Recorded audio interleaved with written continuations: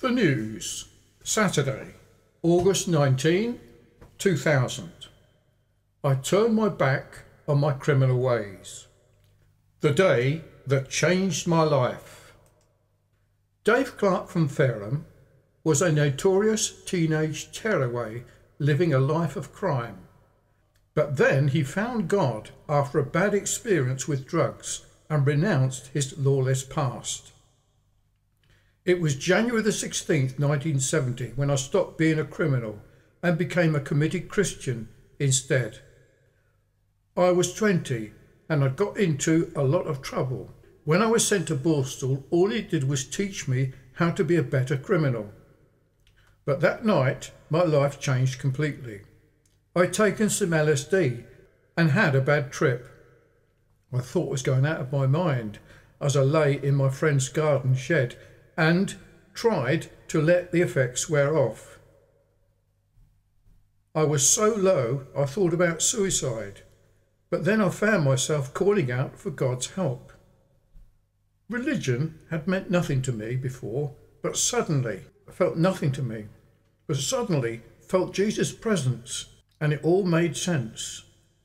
After I'd recovered, I was given a copy of the New Testament. I had difficulty reading but within two weeks, I got to the end. I learned so much. Friends thought I'd gone crackers, but it didn't deter me. As a Christian, my conscience was now a problem. So I tried to return some of the items I'd stolen and still had. Then I confessed to the police to 24 undetected crimes that I'd committed over a period of three years since leaving Dover Borstal in 1968. It was like trying to undo the past. I'd stolen all sorts and also used to sell drugs. I expected to go to prison, but the magistrates gave me a conditional discharge because they thought I wanted to be a martyr. It was incredible, really.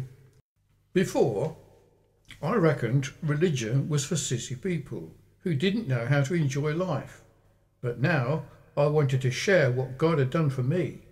So I joined a Baptist church and became a lay preacher. It wasn't easy. There were times when I thought God had forsaken me and doubted his existence. I had a wife and three children, but began an affair I knew was wrong. At that time, I was thinking totally of myself.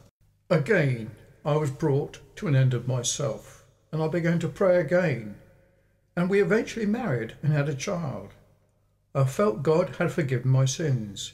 I'm now 51 now and am an electronics lecturer at Fareham College. I tell my story to students and do other evangelical work. Some still scoff, but I've learned a lot in my new life that I believe can benefit others. If God hadn't heard my cry for help, I probably would have been dead or in jail by now as told to Simon Toft.